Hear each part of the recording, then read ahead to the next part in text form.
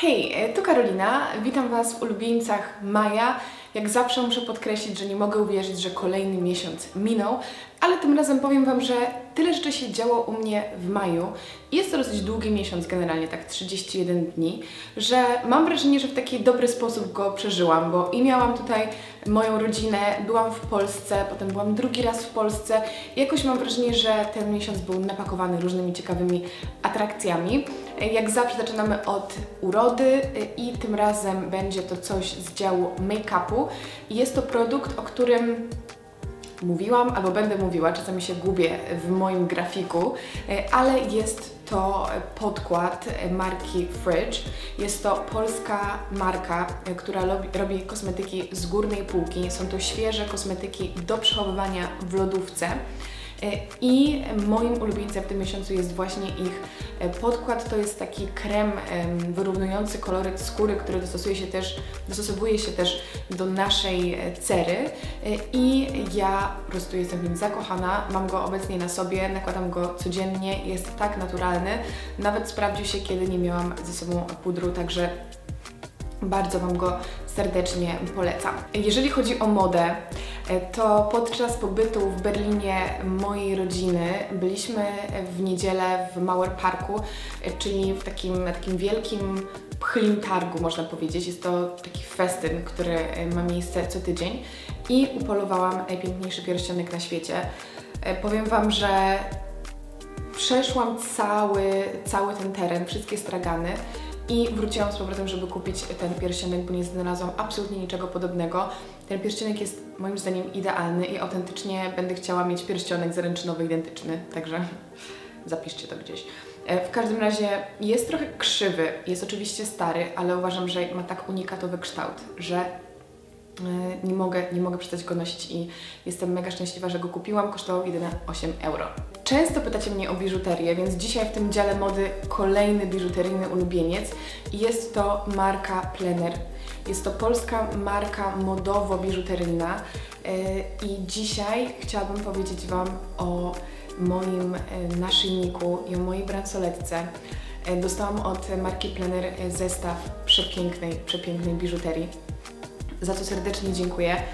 I bransoletkę z kryształem górskim noszę codziennie. Uważam, że przepięknie mi pasuje do zegarka, ale moim największym ulubieńcem jest przecudowny naszyjnik ja Wam to wszystko rozpiszę, bo niestety dopiero raczkuję, jeżeli chodzi o kamienie. Jest coś tak niesamowicie magnetyzującego właśnie w tym e, wisiorze, w tym e, kamieniu. W ogóle cały wisiorek składa się z bardzo wielu różnych kamieni. Każda z tych rzeczy mm, z tych części biżuterii jest robiona ręcznie. Oczywiście każdy kamień ma swoje znaczenie, swoją energię. Ja, jak wiecie, zaczynam mieć Otwiera się przede mną nowy świat zainteresowań, e, także śmieję się, że teraz Karolina szamanka i od bardzo dawna chciałam zainteresować się e, właśnie kwestią kamieni, ale jest to ogromny temat i nie wiedziałam od czego zacząć, a właśnie można powiedzieć, że te nowe naszyjniki czy bransoletka sprawiły, że zaczęłam powoli sobie czytać, co ma jakie tutaj właściwości, także ja jestem absolutnie wciągnięta, y, a ten wisiorek jest jednym z moich największych ulubieńców, chociaż mam go dopiero od y, kilku dni, ale jestem zakochana. Ulubiony dział większości osób, czyli jedzenie. Dzisiaj mam bardzo dużo pozycji e, w tej kategorii. Po pierwsze, jeżeli będziecie na wspomnianym przeze mnie Mała Pak w niedzielę, to tam jest wegańska pita gyros. Jest przepyszna, jest tam wegański gyros zrobiony chyba z kotletów sojowych, genialnie przyprawiony. Do tego świeże warzywa i sos czosnkowy, coś niesamowitego. Koniecznie musicie spróbować, jeżeli będziecie w Berlinie. Druga rzecz to jest serotonina, jeżeli chodzi o wegańskie sery to ja miałam przyjemność spróbować um, serów sióstr Wege Sióstr, tak.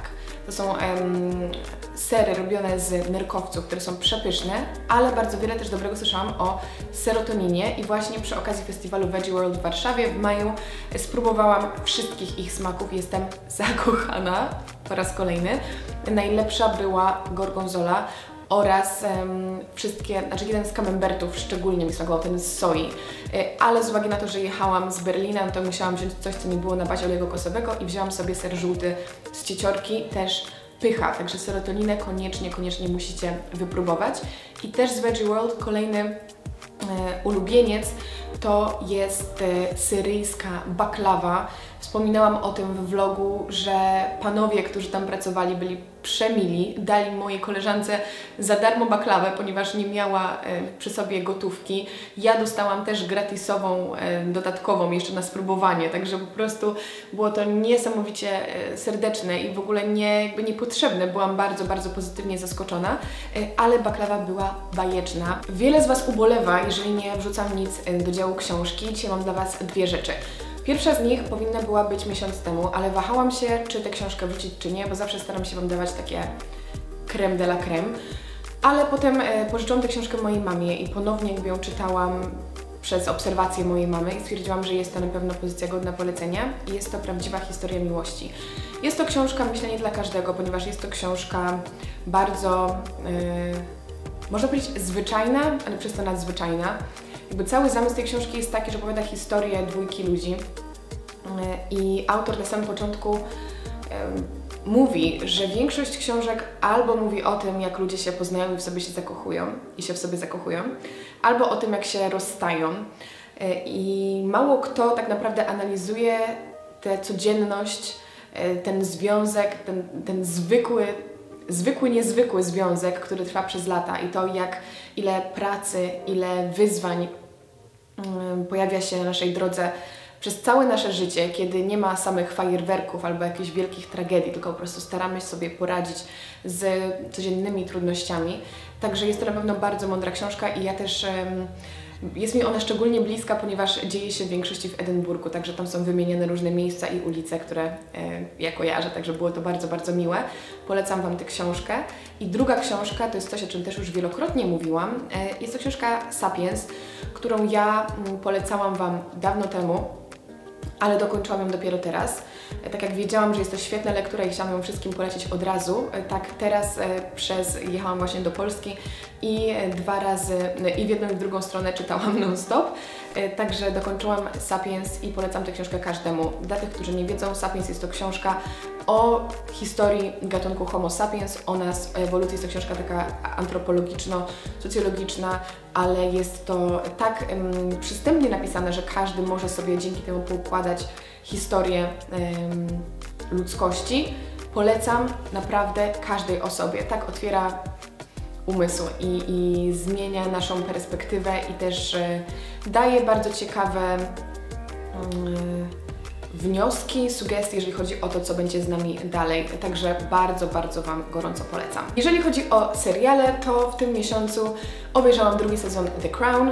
Świetny, polecam każdemu, mówiłam o tym miesiąc temu. The Crown to jest naprawdę bardzo, bardzo, bardzo dobry serial, przepięknie nagrany, świetna gra aktorska i też można się bardzo wiele dowiedzieć, jeżeli chodzi o kwestie historyczne e, i polityczne i ekonomiczne, które nie tak łatwo są przyswajane, kiedy czytamy swoje wiadomości czy jakieś, nie wiem, raporty, artykuły, ale w takiej e, formie właśnie serialu możemy połączyć przyjemne z pożytecznym. Także zachęcam Was. Z szeroko pojętego działu online chciałabym polecić Wam podcast. Jest to podcast, który nazywa się The Highest Self Podcast. Możecie go znaleźć oczywiście w aplikacji podcasty na iTunesie i jest to podcast Sahara Rose, która jest ekspertem od Ayurvedy, czyli od e, staroindyjskiej medycyny. Jest to najstarszy system medyczny na świecie. Mówi ona o takich rzeczach jak karma, dharma, dosze, czakry. Dla osób, które się tym nie interesują, może to brzmieć dosyć dziwnie, ale jeżeli dla kogoś z Was komuś z Was bliska jest e, medytacja, czy właśnie e, interesuje się ayurvedą, to bardzo polecam. I też jest to dobre rozwiązanie dla osób, które niewiele na ten temat wiedzą, ale chcą się dowiedzieć więcej, bo właśnie Sahara od podstaw tłumaczy bardzo wiele mm, zjawisk i bardzo wiele zagadnień właśnie związanych z tą bardziej duchową stroną Indii, e, także nie jest to zupełnie religijny podcast, ale dla mnie jest on fascynujący, ponieważ ten temat mnie bardzo interesuje. Także jeżeli to jest Wasza działka, koniecznie, koniecznie sprawdźcie. Nie mogłabym też nie wspomnieć o festiwalu Veggie World. Miałam przyjemność być przez krótką chwilę na festiwalu. Jest to ogromna, e, ogromny taki festyn, e, takie targi wegańskie, e, które zrzeszają e, przeróżne firmy związane z weganizmem. Nie chodzi tutaj tylko o jedzenie, ale też o kosmetyki, o świece, o książki. Było bardzo wiele ciekawych wykładów, na których niestety nie mogłam być, ponieważ byłam przez chwilę naprawdę w Polsce, ale festiwal był super, także nie mogę się doczekać kolejnej edycji, gdzie będę mogła, mam nadzieję, być tam dłużej i jeszcze więcej rzeczy sobie zobaczyć e, i posłuchać, ale w trakcie festiwalu miałam przyjemność być częścią panelu e, z Kasią z Pink Wing Studio, która zaprosiła mnie i Justynę, znaną jako Juszes, do panelu na scenie głównej, co było dla mnie ogromnym wyróżnieniem, było mi bardzo miło i uważam, że naprawdę wyszło bardzo fajnie, mam nadzieję. Było Was tam sporo, poznałam tam bardzo wiele z Was, co było dla mnie nieporównywalnym do niczego innego doświadczeniem. E, bardzo rzadko mam możliwość poznania Was na żywo, także e, to była niesamowita e, przyjemność. Aż powiem Wam, że tak nie mogę złapać oddechu. Jest, to dla mnie bardzo emocjonalne, bo, bo nie sądziłam, że będę mogła wyjść na scenę i mówić o tym, co robię na co dzień i móc poznać tak wspaniałych ludzi, czyli Was na żywo, bo to jest, to jest świetne, że tak naprawdę mm, świetne. To jest dziwne, że Wy mnie znacie, ja Was nie znam, a świetne jest to, że możemy e, widzieć się po raz pierwszy na żywo, a mam wrażenie, że znamy się od lat, ponieważ bardzo wiele z Was podziela moje pasje i podejście do życia. Także dziękuję Wam za to, że jesteście i za to, że podeszliście do mnie podczas festiwalu. Mam nadzieję, że będzie więcej okazji ku temu w najbliższym czasie. I mój ostatni ulubieniec jest najnowszy, bo to jest ulubieniec sprzed kilku dni. Jest to mój e, pobyt niespodzianka w Polsce. E, nie wiem, czy ten właśnie vlog był już opublikowany. Chyba nie, ale mm, zaskoczyłam moją mamę na dzień mamy. Nikt, nikt, nikt, nikt w Polsce nie wiedział, że przyjeżdżam. Przyjechałam w piątek i wróciłam w niedzielę. Zaskoczyłam moją mamę z okazji Dnia Mamy. Spędziłam przepiękny weekend w Polsce i nadal utwierdzam się w przekonaniu, że robienie niespodzianek najbliższym to jest najlepsza rzecz na świecie. Zrobiłam to kiedyś w Edynburgu, ale moja mama była wtajemniczona, więc tym razem postanowiłam, że zaskoczę właśnie ją. Nic nie podejrzewała, było wspaniale, e, także musiałam o tym wspomnieć. To już są wszyscy moi ulubieńcy. Także dziękuję Wam bardzo za oglądanie dzisiejszego filmu. Czekam na Waszych ulubieńców w komentarzach i my widzimy się w kolejnym filmie na moim kanale już niedługo. Do zobaczenia. Pa, pa!